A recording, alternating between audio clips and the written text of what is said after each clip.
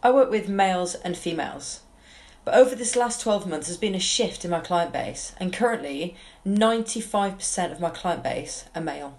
Now, more times than I care to remember, people have responded to this with, it's because of the way that you look, which I think they actually meant as a compliment, but I don't take it as that. Firstly, I don't look in the mirror and start air punching, but mostly it invalidates me as a coach and it invalidates my clients' motives. But the bit that saddens me the most is that every time I've heard this comment, it's come from a female. Now, I absolutely stand behind what being a feminist stands for equal pay, equal opportunities, more females in the leadership positions. However, we often promote equality, and a guy would not have been able to get away with that comment as easily as a woman could have. If we want equality, we have to be able to live it and be it as well as talk about it.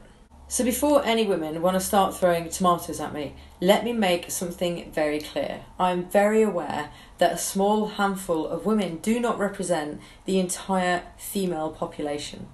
But whether you're male or female, I urge you to consider the comments that you make with the intention of meaning something else but actually causing a further divide between gender equality. As long as I coach, I will always promote equality for women and men. I will always work with women and men.